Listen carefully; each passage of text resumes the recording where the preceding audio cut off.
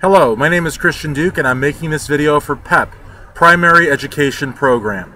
Millions of Americans were not able to get a good education coming up. PEP gives you that education. It's not a GED program. It's primary education that you may not have received in your life. With PEP, you will receive ABCs, blocks, simple addition, arts and crafts, and courses in gym management. Once you complete your PEP, your primary education program, you will be able to see a wide array of jobs that you previously were not qualified for.